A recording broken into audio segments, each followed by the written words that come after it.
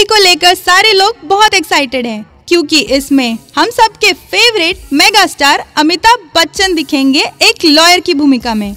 अभी तक इस फ़िल्म की बहुत सारी स्क्रीनिंग हो चुकी है, जिसमें सारे बड़े सितारों ने बढ़ चढ़कर हिस्सा लिया है, और अमित जी की जमकर तारीफ़ भी की है। अरे, करे भी क्यों ना? वो है ही तारीफ़ के काबिल। इसी के साथ इसमें की तीनों लीडिंग लेडीज़ की भी बहुत तारीफ़ हुई है। जिसमें से एक है टापसी पन्नू, जो पहले भी बॉलीवुड और साउथ की फ़िल्मों में काम कर चुकी हैं।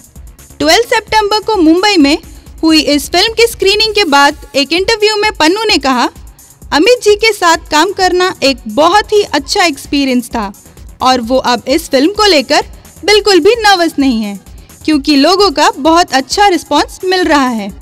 इस स्क्रीनिंग में पूजा भट्ट, सोफी चौधरी, डीनू मौर्य कृति सेनन, जूही चावला और अरबाज खान जैसे बहुत सारे सितारों ने हिस्सा लिया। अरबाज खान ने कहा कि वो बहुत खुश हैं सारे एक्टर्स की परफॉर्मेंस देख के।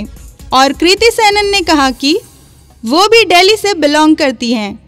और जिस प्रॉब्लम पर यह फ़िल्म बनाई गई है, वो दिल्ली में लड़कियों को फेस करनी पड़ती है। इसीलिए वो इस कहानी से पूरी तरह रिलेट कर पा रही हैं। देखते हैं सुजीत सरकार की ये फ़िल्म दर्शकों को कितनी पसंद आती है? Please keep watching and sharing our channel and please do subscribe this is Preeti Rao from Nargis news